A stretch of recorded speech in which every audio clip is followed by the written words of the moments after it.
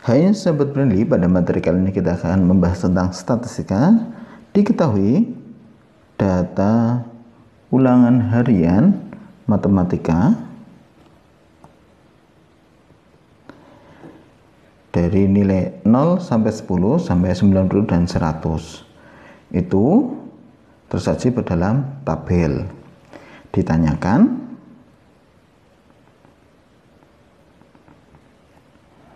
gambarlah histogram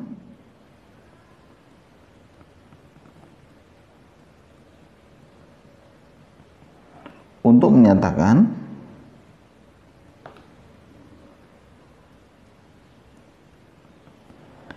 data ulangan matematika.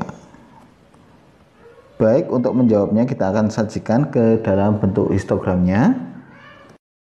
Berikut adalah tabel histogramnya untuk diagram histogram atau diagram batangnya. Jadi untuk 0 sampai 10 itu ada satu orang seperti pada gambar ini. Kemudian 10 sampai 20 ada empat orang. 20 sampai 30 ada enam orang. 30 sampai 40 ada 10 orang. 40 sampai 50 ada 14 orang. Kemudian 50 sampai 60 ada 30 orang. 60 sampai 70 itu ada 17 orang. Kemudian 17 orang 70 sampai 80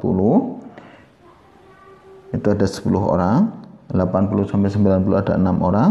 Kemudian yang terakhir 90 sampai 100 ada dua orang. Ini adalah tabel histogramnya. Baik cukup sekian pembahasan soal kali ini. Semoga bermanfaat. Salam semangat